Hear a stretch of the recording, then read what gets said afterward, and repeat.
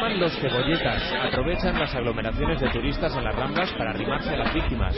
Esta mujer se ha dado cuenta.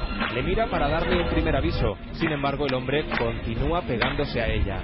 La víctima, indignada, decide advertir a su acompañante y apartarse. El hombre estaba allí disimulando un poco con un bolsete que tenía y nada, mucho roce que hay aquí, mucho roce. Al preguntarle al acechador, niega lo ocurrido.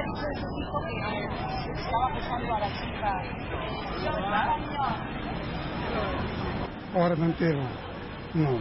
A algunos de estos acosadores no les basta con tocar a las víctimas o no les importa que sean niñas de corta edad.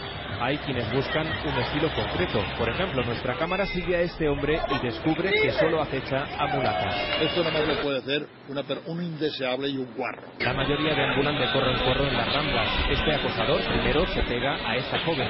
Después camina hasta otra aglomeración. Ya tiene nueva víctima, una mujer que se percata de los roces injustificados pero opta por callar. La policía se ha dado cuenta de este fenómeno, pero recuerda que las patrullas solo pueden actuar si la víctima presenta denuncia.